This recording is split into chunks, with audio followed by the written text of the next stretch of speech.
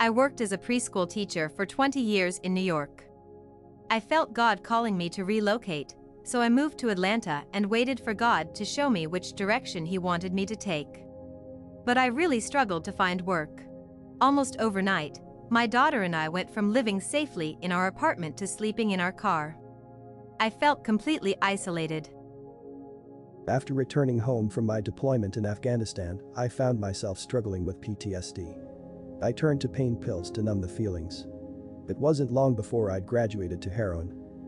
For 11 years, I faced addiction.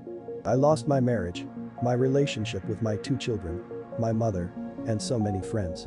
I eventually ended up in prison, completely isolated from everyone and everything I ever knew. Last summer, I was diagnosed with a debilitating illness. Even though I had a support system, I struggled with allowing myself to be vulnerable. Some of the friends I thought would be there weren't. I used humor to hide my fear and pushed myself to continue as if nothing happened. But deep down, I felt helpless. I had so many questions and doubts and often asked God, why me?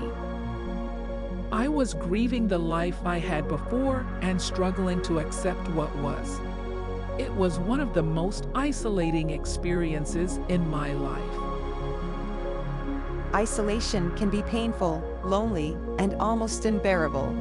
So, why is isolation sometimes part of God's plan? Why would a loving God bring us to places where we feel so alone? Because it's necessary. It is a time of repentance, submission, new revelation, greater intimacy with God, realigning of the heart, and ultimately, growth. God is using that time to refine and mold you and shape you into who you need to be. And you will come out of it a more whole person with an identity based on Christ and His truth. The reward is so much greater than the suffering. We just have to remember that isolation leads to transformation